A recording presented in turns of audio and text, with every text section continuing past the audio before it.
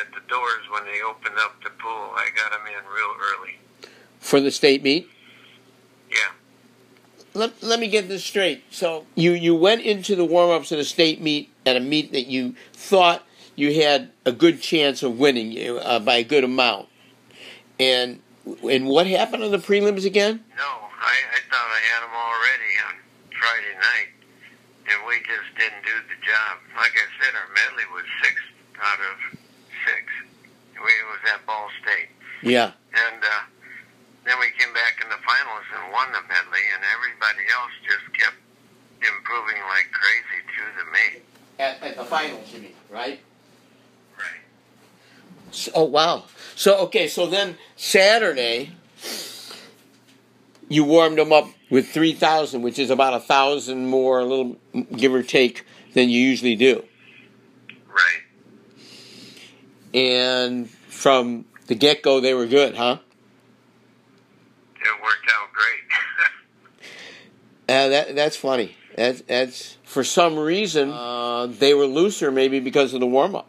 Well, you, you know what? When it comes down to it, I think they were used to going in the meets that way, and it just put them in the groove. The doors Oh. when they opened up the pool, I got them in real early.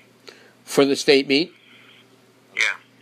It always seemed to work out. That's that's it. Well, you know, I remember I forgot who told me this. Who they had a brand new pool. They're going to nationals, and they're building our pool all season. And we were supposed to be in, you know, the two months before nationals, and they didn't get in. So all they had was a uh, five lane, twenty yard pool. You know, they were supposed to be in their beautiful new fifty meter, you know, and he said he spent two months uh, in that 25 uh, in that 20 yard pool. And all he was, was doing was dive 75s dive 125s you know? And he, he goes he was sitting on the heater just all sweating and you know and they went to nationals and everybody down the line even the kids in the 1650 had amazing swims. And you know he bragged you know you know you know that you know he made it happen it just it's hard to put your finger on it. it just We clicked went in one of the one of the first years I was at Munster. We went into South Bend Jackson, and that, that became Riley. But anyway, we went into Jackson, and the bus driver got lost. And we got there at the time the meet was supposed to start. And the official, when we walked in, he said, "I'll give you ten minutes to get your get it, get your kids in the water, and another five minutes or ten minutes to get them out." So we only had a 10 minute time to, to warm up. I told the kids, I said, we're doing 10 times 50 and make them faster as we get into the higher numbers. I said, start out easy and then build.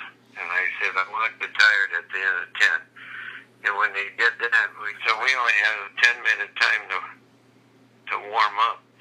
I told the kids, I said, we're doing 10 times 50 and make them faster as we get into the higher numbers. I said, start out easy and then build. And I said, I want the tired at the end of 10. And when they did that, we, we only took 10 minutes to do that. And I Yeah. told them, get in, get in the shower, take, get it hot, and then come out here ready to swim. And we went nuts. We set six pool records, I guess. Well, you know, I I truly believe that if you're consistent with a team, that's the whole thing. If you're consistent through the season, meet, you know, they were consistently going 2,500 before a meet, and, you know, they just probably weren't loose enough.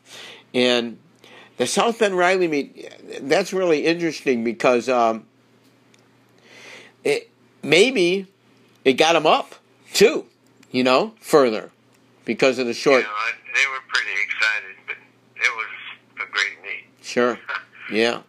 Uh, yeah, those yeah, those those South Bend meets were too. I was thinking about a meet that you had against Skip Bird the other day, and it was I was in East Chicago at the time, and me and Sue just got married, and we came over to watch you going against um, uh, Skip Bird, you know, a Valpo, Right. and it came down to the 400 yard freestyle relay, and that little room, and Skip took his four 400 freestyle relay kids down in that little room back there to the left behind the um, block. He's standing there, and there's these four gigantic kids, and there's Skip, you know, and he looks at him and he goes, "If you win it, we win."